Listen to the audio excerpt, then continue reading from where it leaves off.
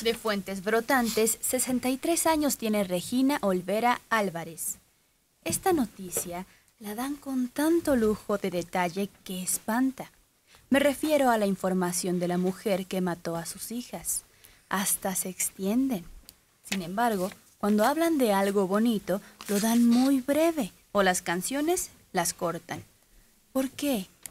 Ya sabemos que los mexicanos somos morbosos por excelencia, pero... Ah, pues por eso. sí, esa es una razón. Pero hay que disimular un poquito, aunque sea, por favor. Pues tratamos de disimular, pero son tantos los crímenes y tan horrendos. Sí, hombre, este asalto en plena carretera que le causó la vida a los, costó la vida a los custodios es, atrocidad, es una cosa que debería escandalizar a todo el mundo. Además a uno le cortaron totalmente la cabeza. Imagínate. ¿Qué necesidad habría? Sí. Si los tienen en sus manos y se adueñan de lo que pretendían. Pero no solamente los mexicanos morbosos, los griegos, ¿cuántos siglos han venido eh, regos, no, no, no, ah, eh, regodeándose con Medea, la obra del clásico.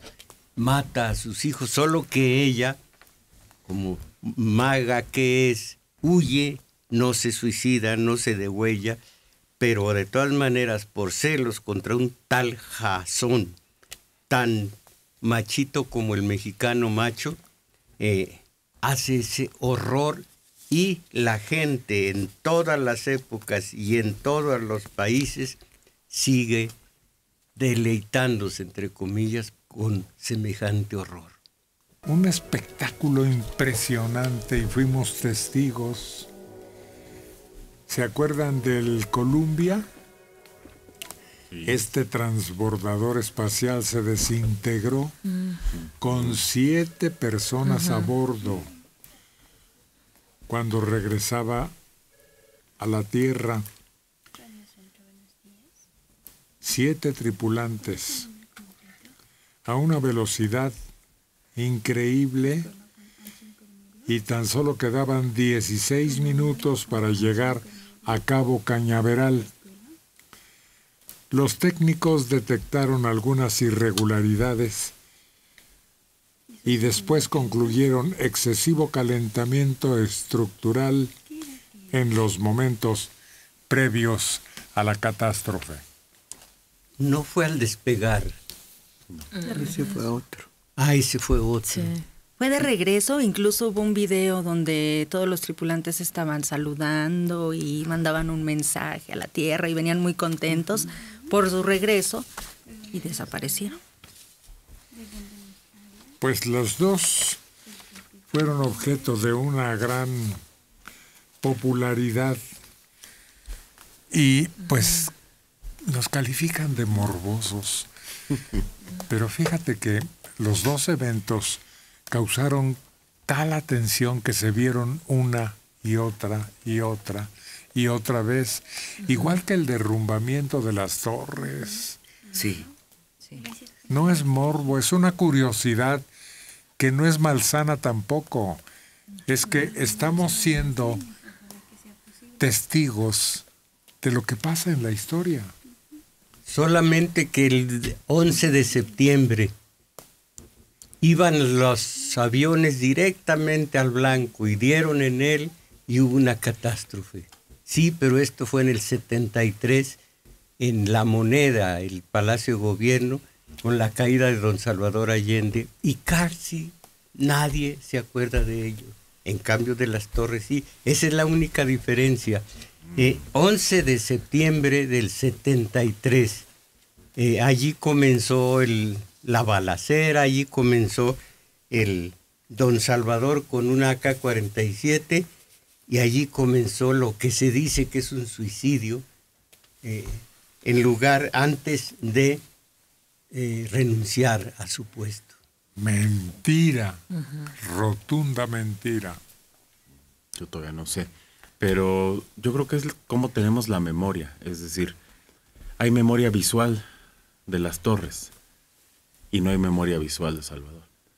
Su discurso sí se repite mucho, porque hay memoria, audio, y del otro no se conserva nada. Creo que eso es lo que nos hace recuperarlo una y otra vez.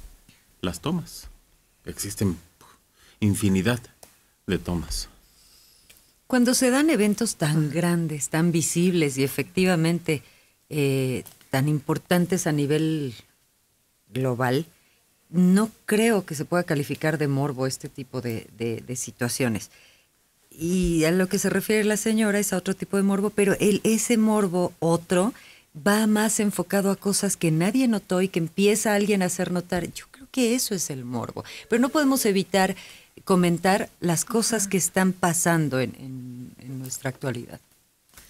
La explosión en San Juanico, que también fue reseñada en gran parte en forma gráfica, o este incendio en el estado de Hidalgo reciente. Eh, la explosión de San Juanico fue tan, tan uh, notoria, tan impactante, que Miguel de la Madrid dudó si al 20 de noviembre, al siguiente día, eh, habría o no habría la conmemoración del 20 precisamente del inicio de la revolución. En la ceremonia eh, estuvo a punto de, de clausura, de, sí, de suspenderse por el duelo nacional, por el San Juanico. Pero además hay noticias que debes de dar completas, porque de otra manera estás eh, de alguna manera omitiendo o falseando la verdad y se presta a mil historias. Entonces, como medio, medio de comunicación, la obligación es dar la noticia completa, no se puede dar a media. Y todavía quedan respuestas. Sí. sin responder. Uh -huh. Pero que también son situaciones, en el caso de las torres o de San Juanico, que nos demuestran la fragilidad que tenemos como seres humanos al fin y al cabo, que son cosas que, bueno, en el caso de las torres sí fueron planeadas, pero que fueron ahí en ese caso un derrumbe de algo que significaba imperio, fuerza, economía. Tenía un significado el, el derrumbar esas, eh, esas torres, esos edificios. Y otras cosas como lo del incendio de San Juanico también nos dicen que somos seres de fortuna en el sentido de que al estar vivos nos salvamos de todos estos eventos que nos rodean constantemente mientras vamos caminando por este mundo. Creo que la debilidad se ve más en los tsunamis, en los temblores, en los incendios que también ahora tenemos reseñados en video. Es decir, los que no vivieron el terremoto del 85 solo por video lo pueden más o menos dimensionar. Pero solo los que vivieron y vieron el ambiente que dicen olía a muerto tienen otra dimensión del asunto. Pero creo que es la memoria visual y ahora somos muy dados a la memoria visual. Es decir, creo que los jóvenes no son capaces de leer la historia, sino de ver la película y en qué en qué estado de estos está en la guardería ABC. Lo la mismo. Visual. visual. Hasta que se hizo una película más o menos llegó a unos públicos que no había llegado. Pero sigue en el olvido. Y como parte de un análisis o de objeto eh, importante en la actualidad del cómo se está comportando la sociedad, es determinante saber ciertos elementos, factores. Es muy distinto a alguien que dice, se bajó del coche, aventó a sus hijos a un puente y ya, ¿no? A quien toma un cuchillo, de, va a degollar a una niña, se da cuenta de la otra, está viendo el dolor de la primera y no le importa y va y degüella a la tercera. ¿Qué elementos había en esa mujer que la descompuso de tal manera para hacer tal atrocidad?